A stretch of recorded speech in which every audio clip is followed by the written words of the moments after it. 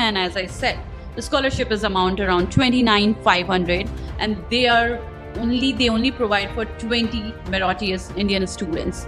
Coming back to our another scholarship with the Seed Foundation Scholarship and they have made very good attempt to support Indian youth with this scholarship.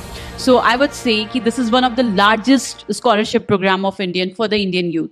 But इसकी जो eligibility criteria है वो ऐसी है कि student must be of Asian Indian ethnicity and they must be graduating from a US high school with a minimum of GPA 3 on a scale of 4.